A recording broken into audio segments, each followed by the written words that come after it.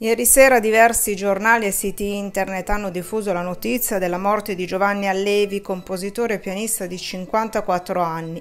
La falsa notizia si è diffusa così tanto che persino alcuni personaggi dello spettacolo come Carlo Conti e Daniela Martani hanno creduto alla bufala. Daniela Martani ha ammesso su Twitter di essere rimasta scioccata quando ha letto la falsa notizia sulla morte di Allevi.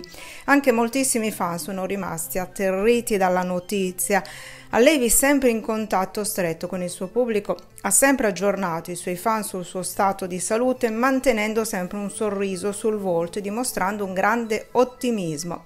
Qualche mese fa sui social il musicista ha con sincerità ammesso che le sue mani tremano a causa dei potenti farmaci che sta assumendo in questo periodo e che al momento non può suonare.